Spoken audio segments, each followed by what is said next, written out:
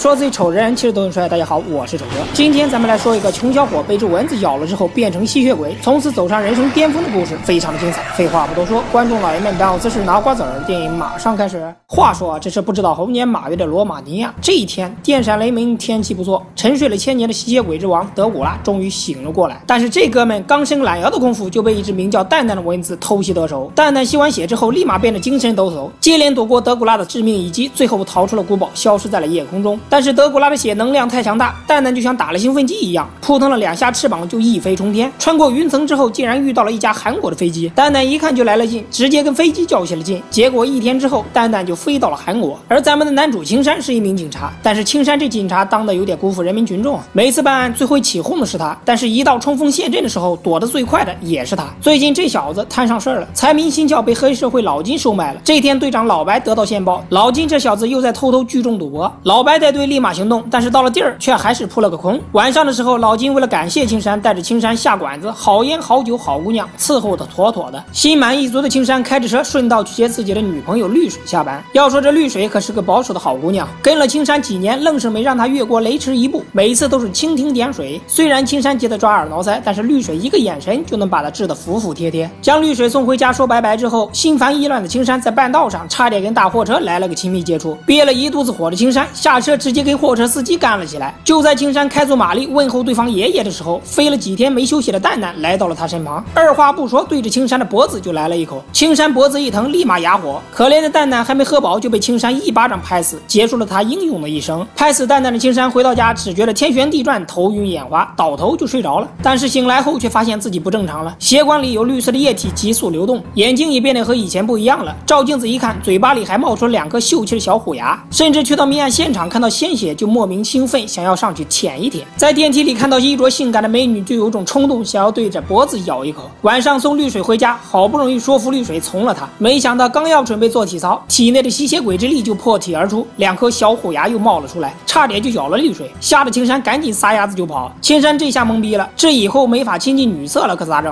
苦恼的青山跑到了教堂去求助，没成想被吸血鬼猎人老皮给盯上了。老皮二话不说就要动手，青山仗着有把枪才侥幸逃跑。而另一边，老白从线人那里得到了老金公司的账本，随后发现原来青山就是与老金勾结的内鬼。但是老白和青山情同父子，不忍心将他揭穿，而老金却威胁青山，如果不拿回自己的账本，就跟他鱼死网破。但是眼瞅着青山迟迟不愿动手，老金只好派手下将老白暗算，并抢走了账本。但是这一下彻底惹毛了青山，他去找老金理论，谁知道老金发起狠来，翻脸不认人，直接将账本给烧了。青山不服，还想动手，却被老金带人将他从楼顶扔了下去。所幸青山已经不是以前的青山，从楼顶摔了下去，也没有要了他的小命。就在青山奄奄一息的时候，老皮及时赶到，并用自己的血救了他一命。而青山因为吸了人血，也成了半吸血鬼，不能被阳光照射。如果他再吸一次血，那再也不能变回人类，将成为真正的吸血鬼。与此同时，青山勾结老金的事情被查了出来，瞬间成为了通缉犯。恼火的青山决定报复老金，他偷偷的转走了老金所有的钱，但是被老金发现，老金派人一路追杀，青山逃到一个歌厅藏了起来。无巧不成书啊，在这里，青山遇到了半个月没见的女朋友绿水，两人还没有时间互诉衷肠，老金的小弟就来了。青山为了保护绿水，激动之下变身成吸血鬼，转眼间青山战斗力蹭蹭蹭的往上涨，一个人单挑所有人，没走几个回合就把小弟们全部打趴下。但是老金怒火攻心，咽不下这口气，最后还是把绿水给绑架了。青山不顾老皮的阻止，前去营救绿水，而老金早已摆下阵势等他送死。仇人见面分外眼红，青山变身吸血鬼，二话不说就动起了手。眼瞅着自己手下被青山一个一个撂倒，老金将绿水吊在屋顶要挟青山，这招果然管用。青山束手束脚，最后被一顿胖揍，打得鼻青脸肿。老金一看胜券在握，二话不说就剪断了绳子，绿水直接从房顶摔了下来，一动不动。看到这一幕，青山彻底愤怒爆发了，再次变身吸血鬼，几个走位就差点要了老金的命。就在青山准备对老金来一口的时候，一旁的老皮制止了他，因为一旦吸血就再也不能变回人类。正在青山犹豫的时候，老金竟然偷偷捅了青山一刀，这一下可惹毛了青山。